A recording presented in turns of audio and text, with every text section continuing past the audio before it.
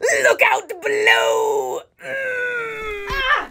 Ah! What the heck, dude? Oh, come on, that was nothing. I dropped one over Italy last month that was twice as big as a softball. Here, watch.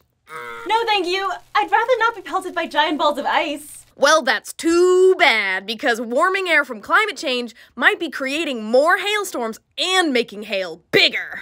But why? Wouldn't a warmer climate mean less ice falling from the sky?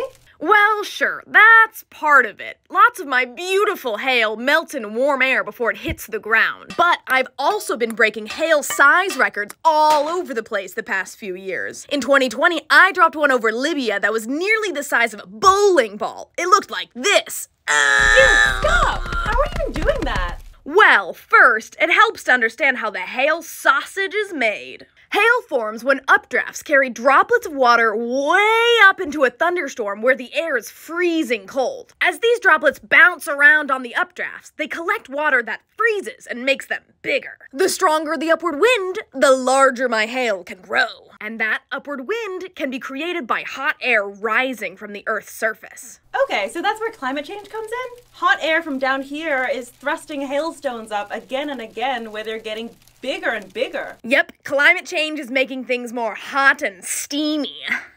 It might be the perfect storm for more hailstorms. Ah! Ah!